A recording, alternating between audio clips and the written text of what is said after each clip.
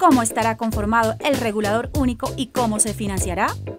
El regulador único estará conformado por cinco comisionados que tendrán periodos fijos de cuatro años y se financiará como se ha hecho siempre con una tasa regulatoria que está definida en la ley, lo que lo hace independiente y nivela al país en el plano internacional.